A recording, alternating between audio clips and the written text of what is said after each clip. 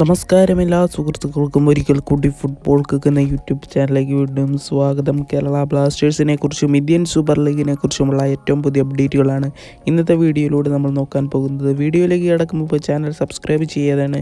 തുടർച്ചയായി വീഡിയോ കണ്ടുകൊണ്ടിരിക്കുന്നെങ്കിൽ ദയവായി സബ്സ്ക്രൈബ് ചെയ്ത് വീഡിയോ കാണാൻ ശ്രമിക്കുക. അപ്പോൾ ഗൈസ് നമുക്ക് ആദ്യത്തെ അപ്ഡേറ്റിലേക്ക് കിടക്കാം. ആദ്യത്തെ അപ്ഡേറ്റ് ഡോറൻ കപ്പിൽ അടുത്ത ക്വാർട്ടർ ഫൈനലിൽ ഇന്ന് Chennaiyin F C Mumbai city F സിനെ നേരിടും. എന്തായാലും ഇരു ടീമുകളും മികച്ച ടീമുകൾ തന്നെയാണ് ഐ എസ് എല്ലിലെ. അതുകൊണ്ട് തന്നെ ഒരു വമ്പൻ മത്സരം തന്നെ നടക്കാൻ സാധ്യത കൂടുതലാണ്. എന്തായാലും മത്സരം ഇന്ന് ആറു മണിക്കാണ് നടക്കാൻ പോകുന്നത്.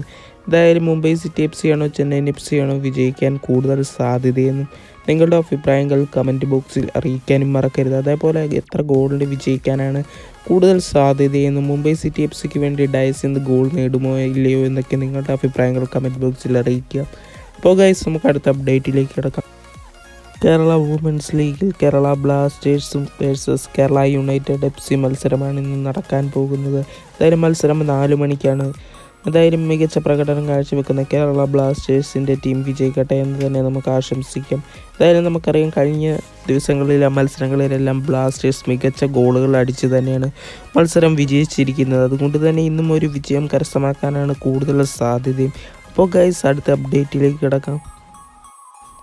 കഴിഞ്ഞ സീസണിൽ കേരള ബ്ലാസ്റ്റേഴ്സിന് വേണ്ടി മികച്ച പ്രകടനം കാഴ്ചവെച്ച ഡിഫൻഡറാണ് എനിസിപ്പോവിച്ച് നിലവിൽ ചെന്നൈ എഫ്സിക്ക് വേണ്ടി കളിച്ചതിന് ശേഷമായിരുന്നു എനിസിപ്പോവിച്ച് കേരള ബ്ലാസ്റ്റേഴ്സിലേക്ക് എത്തിയത്. എന്തായാലും മികച്ച പ്രകടനവും അതേപോലെ തന്നെ ആരാധകരുടെ പുഷ്പരാജ് എന്ന വിളിപ്പേരുള്ള താരം കൂടെയാണ് നമ്മുടെ എനിസിപ്പോവിച്ച് എന്തായാലും താരത്തിന്റെ ജന്മദിനമാണ്. എല്ലാവരും ആരാധകരും താഴെ കമന്റ് ബോക്സിൽ ജന്മദിനം ആശംസിക്കാൻ മറക്കരുത്. അപ്പോൾ ഗൈസ് എന്തായാലും എനിസിപ്പോവിച്ച് ഇപ്പോൾ നിലവിൽ മറ്റൊരു പുതിയ ക്ലബിലാണ് എന്തായാലും താരം ഇന്ത്യയിലല്ല മറ്റൊരു ക്ലബിലാണ് ഇപ്പോൾ കളിച്ചുകൊണ്ടിരിക്കുന്നത്.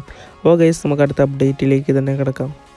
എ ടി കെ മോഹൻ ബഗാന് വേണ്ടി മികച്ച പ്രകടനം കഴിഞ്ഞ സീസണുകളിൽ കാഴ്ചവെച്ച ഗോൾ കീപ്പറായിരുന്നു അമരീന്ദർ സിംഗ്. എന്തായാലും മികച്ച ഗോൾ കീപ്പർ ആയതുകൊണ്ട് തന്നെ ഇന്ത്യൻ ഇന്റർനാഷണൽ ടീമിന്റെയും സെക്കൻഡ് ഗോൾ കീപ്പറായിട്ടും അമരീന്ദർ സിംഗ് മികച്ച പ്രകടനം കാഴ്ചവെച്ചിട്ടുണ്ട്. എന്നാൽ ഇപ്പോൾ വരുന്ന ന്യൂസ് അനുസരിച്ച് നോക്കുകയാണെങ്കിൽ എ ടി കെയുടെ ഗോൾ കീപ്പറായ അമരീന്ദർ ഇപ്പോൾ ടീം വിട്ടിരിക്കുകയാണെന്നാണ് ഇപ്പോൾ നിലവിൽ ലേറ്റസ്റ്റ് ആയിട്ട് പുറത്തു വന്നിരിക്കുന്ന ന്യൂസ് എന്തായാലും Amarinder Singh A T K Mohun Bagan വിട്ട കാരണം എ ടി കെ ഒഫീഷ്യൽ പ്രഖ്യാപനം നടത്തിയിട്ടില്ല. വൈകാതെ തന്നെ ഒരു പ്രഖ്യാപനം ഉണ്ടാകും എന്ന് തന്നെയാണ് നമുക്ക് അറിയാൻ സാധിച്ചിരിക്കുന്നത്. എന്തായാലും ഈ ഗോൾ കീപ്പറിനെ മറ്റ് ഐ എസ് എൽ ക്ലബ്ബുകൾ ടീമിലെത്തിക്കാൻ ഇപ്പോൾ ശ്രമങ്ങൾ നടത്തിയിട്ടുണ്ട് എന്നാണ് നമുക്കറിയാൻ സാധിച്ചിരിക്കുന്നത്. ഇത് ടീമിന്റെ വിവരങ്ങൾ പുറത്തു വന്നിട്ടില്ലെങ്കിൽ പോലും എന്തായാലും അമരീന്ദർ സിംഗ് എന്ന് പറയുന്ന മികച്ച ഗോൾ കീപ്പറിനെ സ്വന്തമാക്കാൻ പല ഐ എസ് എൽ ക്ലബ്ബുകളും ശ്രമങ്ങൾ നടത്തുമെന്ന് നമുക്ക് നൂറ് ശതമാനം ഉറപ്പിക്കാം. എന്തായാലും അത് ഏത് ടീമിലേക്കാണ് താരം പോകാൻ